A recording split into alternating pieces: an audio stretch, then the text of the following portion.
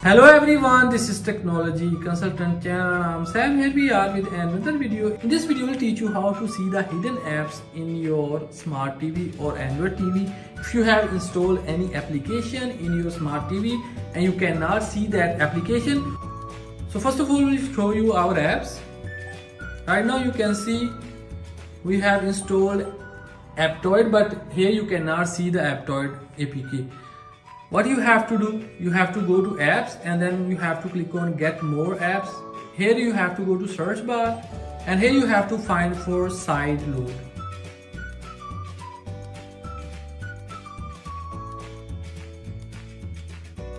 Here you will see the second application. Click on it and click on install. So this is the application side load launcher it will show you the apps that you have installed and you, currently those apps are not visible. After installation open this one.